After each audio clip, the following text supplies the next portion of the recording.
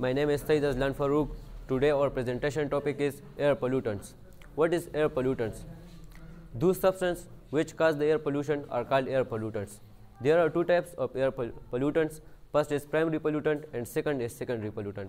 Primary pollutant में हमारे पास factory आती है फैक्ट्री से धुआँ निकलती है और हमारे पास इन्वायरमेंट को गंदा कर देती है और इससे वेस्ट मटेरियल भी आते हैं जो वाटर को पोल्यूट कर देती है ये व्हीकल व्हीकल पोल्यूशन भी आता है, इससे जो धुआँ निकलती है तो यह हमारे पास इन्वायरमेंट को पोल्यूट कर देती है।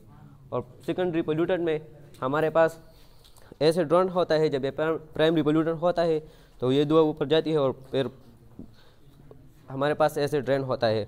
और यह वॉल्केनिक एरप्शन है, जो हम अब एक्सपेरिमेंट करेंगे।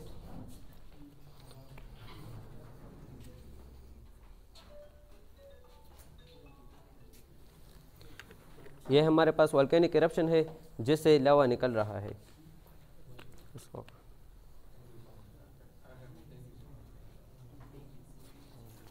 thank you so much